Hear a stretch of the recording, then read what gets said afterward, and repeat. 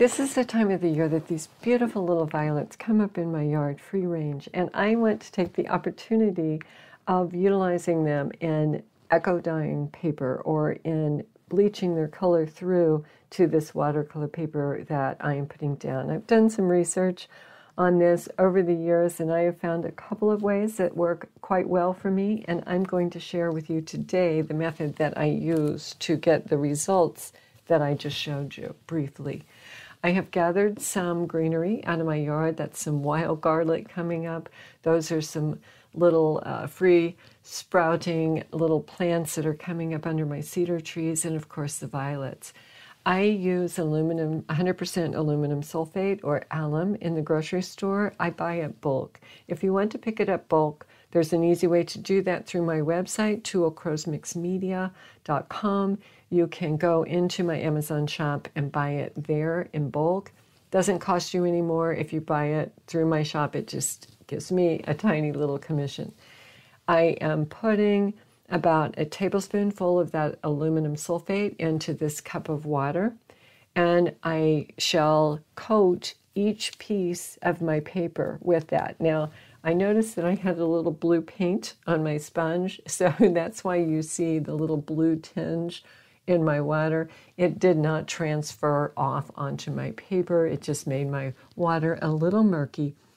Now that I have all of those coated, I shall arrange the flowers on each piece of watercolor paper. And while I do that, I'm going to turn on just a little bit of music so you don't have to listen to me droning. Through the wind, I give in. I'm storming, breaking like the tide.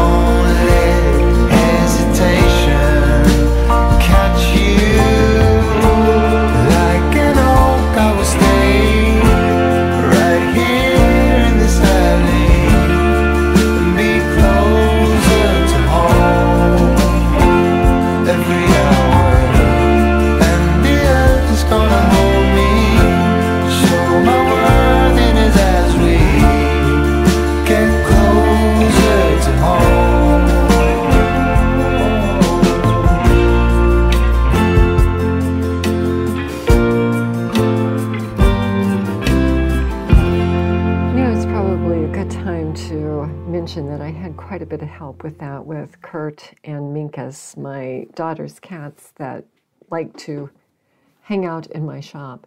But I have packaged, have all of those stacked, and I am packaging them in between these two pieces of aluminum. And yes, I finally noticed that there was a hole in my water jug, and I realized that I'm working here in a very wet surface, but I was I was in the mode, and I did not want to stop to clean off my desk. So let me get this tied up with some string.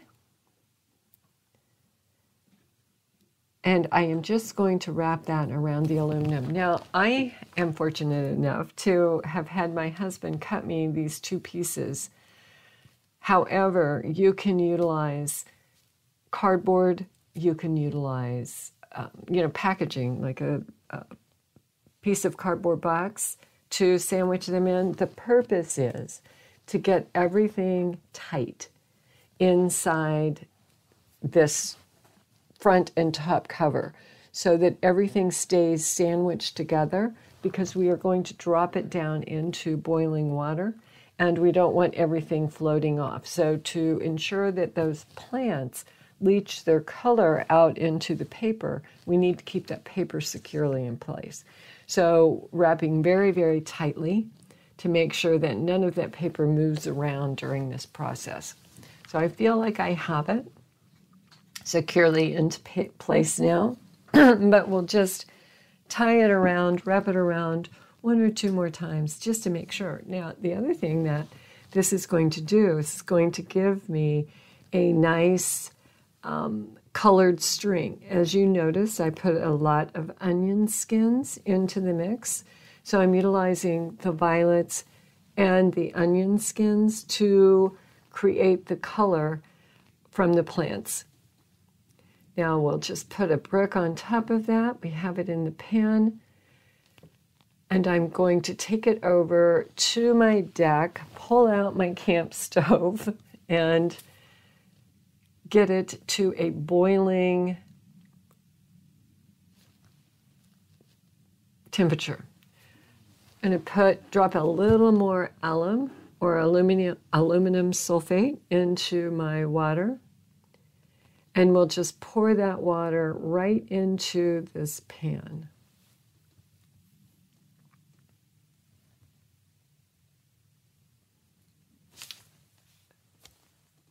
I'm going to put, turn on the burner.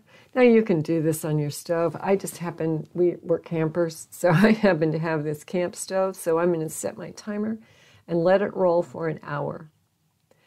And once that hour has passed, I shall let it cool. And now I am cutting off the string.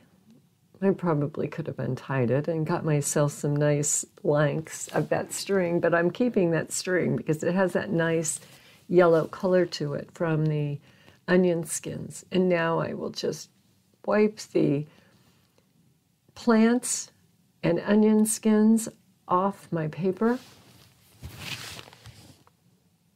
and we will enjoy the results that those beautiful little plants gave us on these note cards. And I am going to link a journal that I used one of these little note cards in right up above. So you can see how I used one of it. And I, I haven't really started to use them yet, but I was doing a packaging video with my coffee cup prompts. So that that is what, what you see linked there.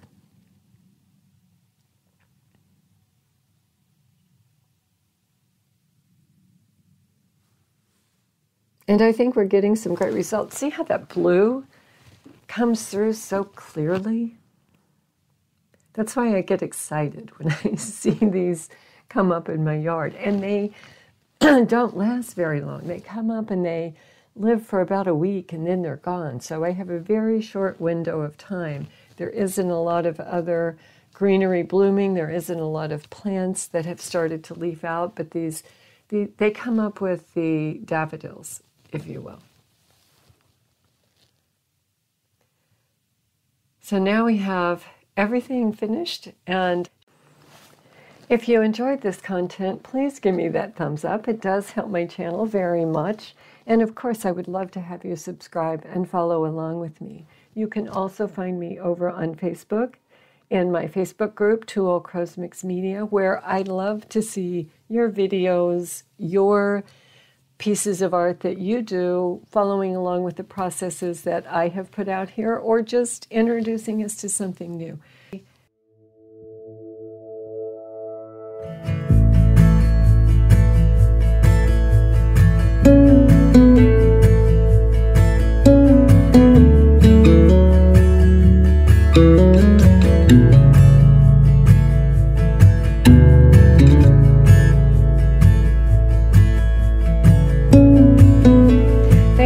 Once again. I put another video I think you might enjoy right here.